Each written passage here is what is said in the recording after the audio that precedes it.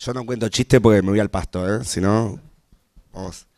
No, un poco cuando veía, nos invitaban a participar y leía el, texto de, de, Melina, decía que podíamos aportar nosotros desde un espacio un poco distinto, ¿no? Nosotros trabajamos Puerta 18, trabajamos para jóvenes de 13 a 24 años en educación no formal, o sea, fuera de la escuela. Y me parece interesante por ahí traer algunas de esas cositas que, bueno, nosotros las aprendíamos a hacer medio eh, de prueba y error y fuimos probando y que, bueno, ahora está mucho más claro y, nos sirve un montón a partir del libro de, Meli.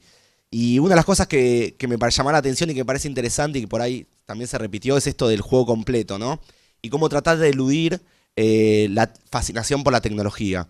Que en algún punto es una obviedad, una cámara de fotos no hace un fotógrafo y eso lo tenemos todo bastante claro. También es cierto y nosotros como programa social pensamos que es difícil eh, sacar un fotógrafo si no saco fotos, o sea que la cámara de fotos sigue siendo necesario.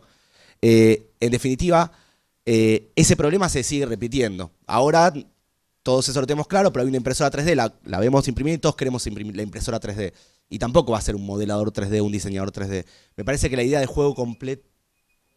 Bueno, bueno como esta idea del juego completo también se tiene que aplicar, nosotros ya a nivel por ahí pensando en vocaciones y talentos a nivel de salida laboral, poder aplicarlo en todos los, en todos los conceptos, ¿no? Si quieres ser fotógrafo, tenés que tener la cámara, tenés que entrenar sobre todo la mirada, la cámara va a cambiar, eh, aprender a usarla. Nos pasa con los chicos que siguen viniendo hoy con 13, con 18 años, con la fascinación de quiero usar la cámara, dura un ratita esa fascinación, esa motivación se apaga pronto y lo que empieza a surgir o lo que hace la diferencia es la mirada y todo lo otro, ¿no?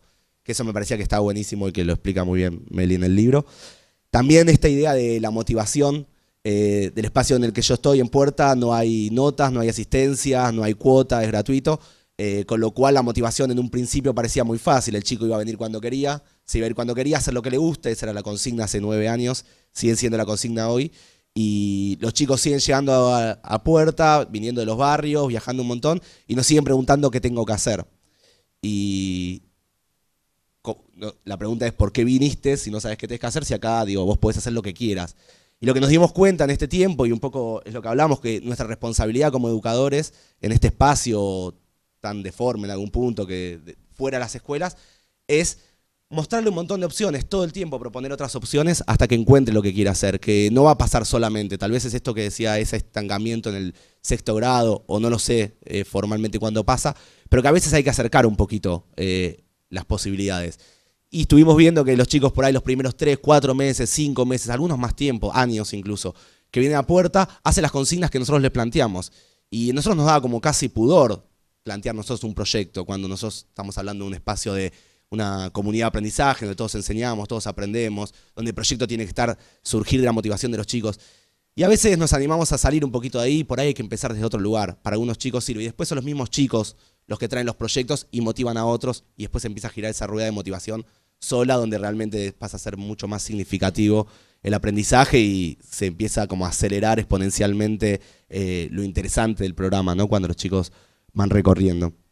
Por último, por ahí la más obvia de las, de las dimensiones que veía, que me parece que nosotros venimos trabajando, que es esta dimensión afectiva eh, a la hora del pensamiento científico. Por ahí en nuestro caso, más que científico, es tecnológico, pero que nos parecía fundamental. Estamos en un mundo donde nos dicen que hay que ser creativos todo el tiempo, pero bueno, hay que bancarse, escuchar ideas y respetarlas y construir desde ahí, y aunque no nos gusten, y poder construir eso que está bien como sobrecito de café, todos lo decimos, bueno, hay que hacer un ejercicio práctico de eso que me parece que está buenísimo y que nosotros tratamos de hacerlo y nos cuesta un montón y tratamos de hacerlo todos los días.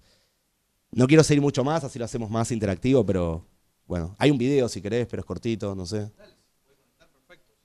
¿Sí? Ah, bueno. Por ahí el video, hago una introducción de video. Estén atentos porque está hecho por jóvenes y va a una velocidad de jóvenes, así que estemos súper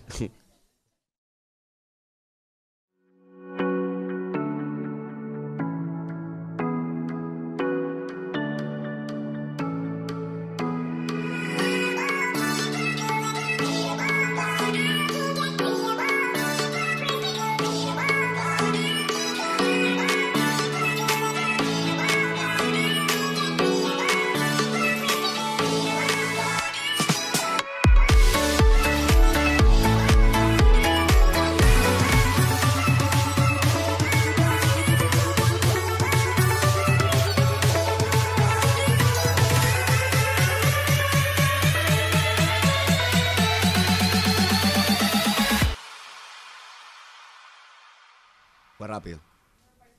¿Nada rápido? Ah, bueno. Sos muy joven. Ese. Sí. Y, si puedes dar un ejemplo como muy concreto, tipo de proyecto que hacen, como para anclar nuestra. Está bueno. Eh, a ver, nosotros toda la, orientación de programas, si se quiere, en nuestro currícula no existe. O sea, nosotros tenemos esta semana armada y no tenemos la semana que viene. Es una decisión ir viéndolo con los chicos.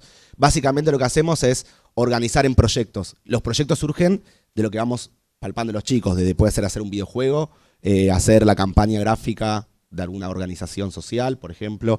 Eh, para alguno, un proyecto personal o de a dos o de a tres, puede ser y es en el estudio de música grabar generación de producción musical que están vendiendo o generando músicas electrónicas o reggaetón, cada uno con su estilo, eh, una película, un corto. Este video, por ejemplo, fue un proyecto. Les planteamos, estamos un poco aburridos de nosotros contar puerta, cuenten puerta desde la visión de los jóvenes, para jóvenes. Y si no, este video que a nosotros nos pareció muy rápido, pero que veo que no es tan rápido, así que estamos contentos. Cumple el objetivo.